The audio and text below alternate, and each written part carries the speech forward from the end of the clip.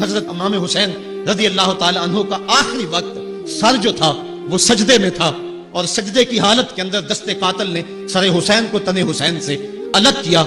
ये दुनिया के सामने हज़रत इमाम ने अपना उसवा रखा कि यही तो पैगाम मैं देने आया हूँ। यही तो जो है वो तहरीर मैंने करबला की रेत पर अपने खून से रकम करनी थी कि ये सर कट सकता है, लेकिन झुकेगा तो सिर्फ़ अपने मालिक की चौकट पर झुकेगा। यजीद के सामने ये सर झुक नहीं सकता है।